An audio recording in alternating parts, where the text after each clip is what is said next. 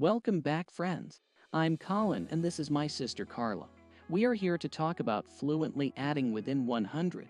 Remember that fluency is just a fancy word for being able to solve addition problems quickly and efficiently, but this time we're solving problems up to 100. That's right. Let's give it a try. Carla, what is 16 plus 13? Let's see.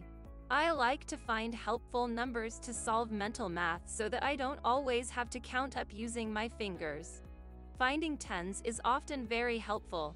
I know 16 plus 14 is 30. 13 is 1 less than 14, so 16 plus 13 must be 1 less than 16 plus 14. 16 plus 13 is 29. Bingo. What is 25 plus 33? This time we have base 10 blocks to help us add. There are two tens in 25 and three tens in 33. There are five ones in 25 and three ones in 33. Let's start with the ones. 5 plus 3 is 8. Now the tens. 20 plus 30 is 50. 25 plus 33 is 58. Got it again.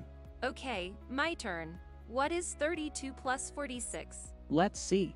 3 tens plus 4 tens is 7 tens. 2 ones plus 6 ones is 8 ones. The answer is 78. You got it. What about 49 plus 17? Oh, nines always mess me up. 49 is 1 less than 50. 50 plus 17 is 67, so 49 plus 17 must be 66. You've got it.